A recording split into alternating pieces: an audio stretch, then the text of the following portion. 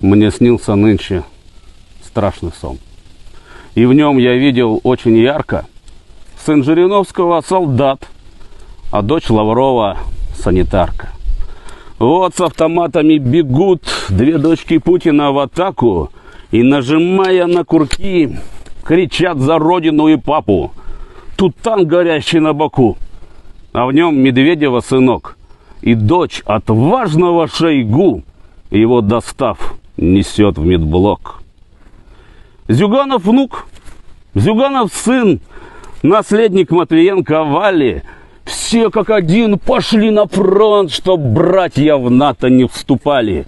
Бегут в строю ковальчуки, и Ротенберги с ними рядом, и рвется Миллер на прорыв во фланг с газпромовским отрядом. Открыл глаза, потом закрыл. Что за фантастика творится? Наверное, зря смотрел ТВ. Вот хрень подобная и снится.